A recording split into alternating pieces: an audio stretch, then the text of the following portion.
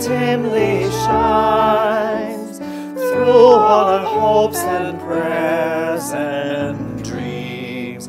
Guide us to justice, truth, and love, delivered from our selfish dreams.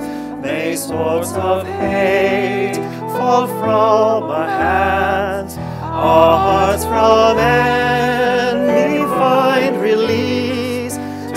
God grace a warring world shall see Christ's promised reign of peace.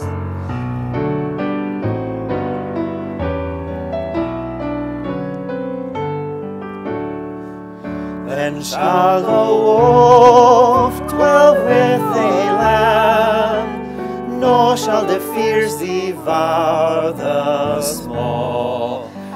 As beast and cat a kemply graze, a little child shall lead them all, and enemies shall learn to love.